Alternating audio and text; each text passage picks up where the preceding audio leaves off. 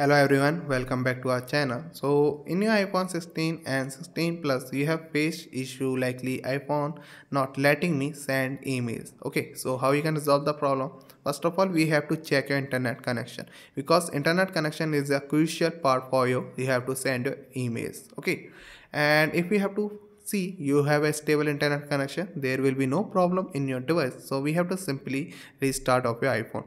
Press and hold the side button and the volume up button at the same time. This slide up here. Drag the slide to the right side and wait for a device to completely turn off. Okay? And now after a few seconds you have to turn on your device and now see problem will be resolved or not. Okay? If not we have to verify email account setting. Going to your likely setting and there we have to find your mails so we have to go into your app and there we have to find your mail. There is. Tap on this and now mail account and there you have to see gmail account. We have to also delete account and also go into account setting. Again put the likely dial sorry write about all of the correct information about your email in your device and done this again. So that's how you can do this to refresh of your account setting. Okay. If this also not work we have to check your mail likely app setting Again going to your mail and to ensure mail days to sync is set appropriately and that your account is enabled. Okay. So here we have to in a mail. So here we have to find your mail days to sync.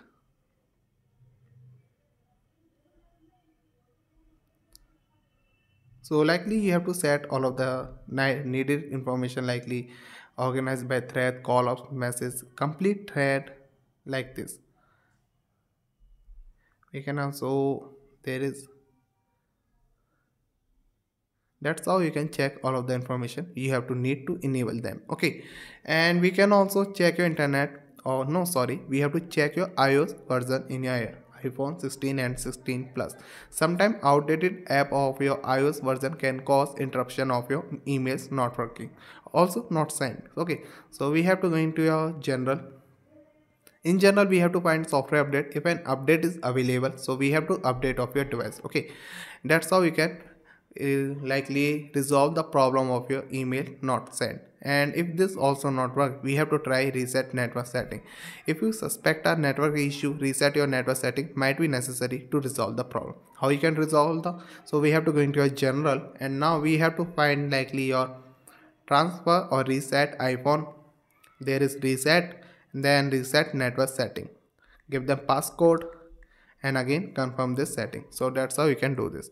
And if this also not work we have to check for your email restriction. Sometimes you have to restrict of your emails that's why you have to face problem. So we have to go into your screen time. And we have to go in content and privacy restriction. So here we have to find of your emails like mobile data account allow them. That's how you can allow all of the feature which is they asking for you likely in allow app and feature you have to also allow mail in your device. Okay so that's how you can resolve the problem. If problem persists so there will be have some deeper issue in your likely some mail function app or other thing. So we have to contact apple support team so they can guide you how you can resolve the problem in iphone 16 and 16 plus plus mails not sent. Okay so thank you